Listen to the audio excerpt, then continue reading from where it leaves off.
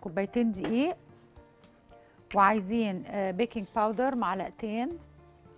وعايزين أربع بيضات. وعايزين فانيليا. ونص كوباية زيت زيتون. ونص كوباية زيت عادي. وعايزين آه، سكر. وعايزين نص كوباية آه، ينسون حب. عايزين دلوقتي نحط آه، نص زيت زيتون آه، زيت عادي مع بعض.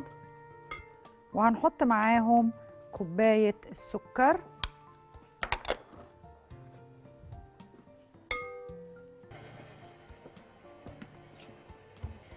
وعندنا هنا أربع بيضات والفانيليا.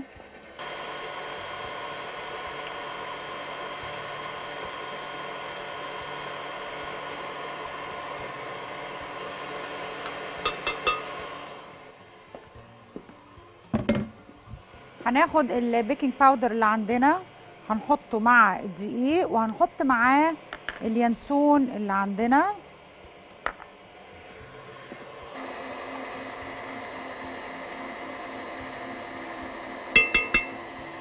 نحط كوباية المية.